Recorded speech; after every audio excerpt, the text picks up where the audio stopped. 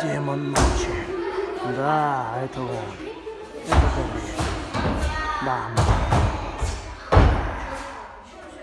Бойтесь его.